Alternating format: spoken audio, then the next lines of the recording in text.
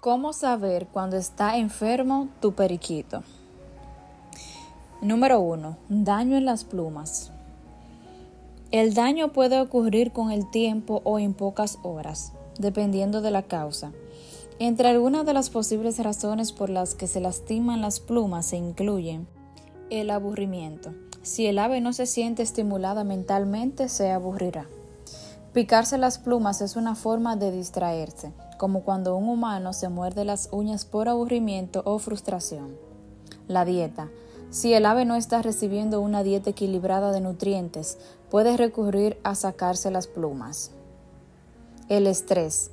Una persona, mascota o hábitat podría estar provocando que el ave se sienta estresada.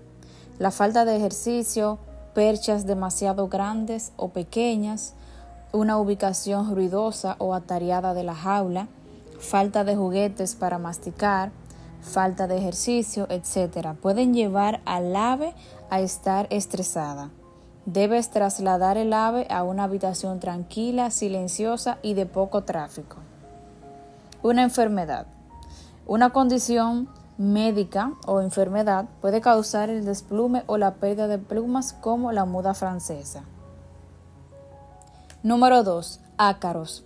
Si las plumas son desiguales o delgadas, puede ser una señal de ácaros.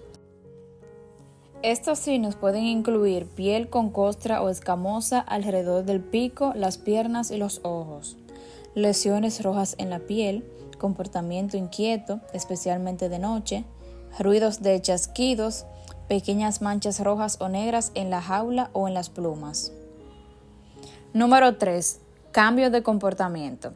Atento a cualquier cambio en los hábitos de comida o bebida del ave. Una falta de apetito o sed es una señal muy preocupante y el ave debe ser vista por un veterinario inmediatamente. Si el periquito está letárgico y no responde a tus llamadas o a tus ofrecimientos de comida, es un signo de enfermedad.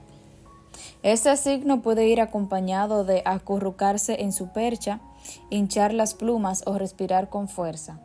Además, el ave puede mostrar algunos de estos signos, como son debilidad, sentarse en una esquina de la jaula o en un lugar bajo, caerse de su percha, continuo erizamiento de las plumas, fallar al acicalarse, falta de actividad o una nueva y extrema postura, caminar en círculos, tener convulsiones o temblores, dormir mucho, cambios en su canto o una falta de canto, colgarse de la jaula con el pico en lugar de, posarse.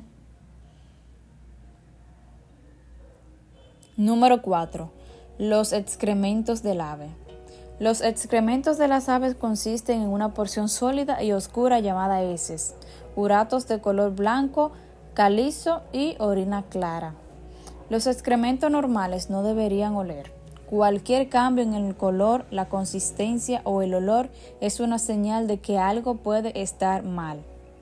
Si hay un mal olor en la jaula, ya sea por la orina, los excrementos u otra fuente, asume que el ave no está bien. Las manchas verdes o amarillas pueden indicar una enfermedad hepática, mientras que las manchas negras o rojas pueden ser un signo de hemorragia interna.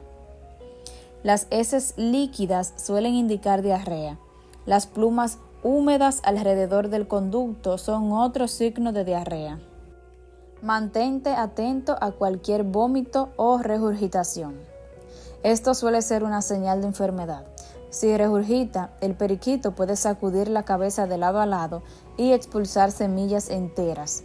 Si vomita, la cabeza parecerá húmeda y puede incluir moco y semillas. Revisa los ojos del periquito. Si se ven hundidos, caídos, nublados o han cambiado de color, son signos de mala salud o de una enfermedad. Un periquito sano tendrá los ojos claros y alertas.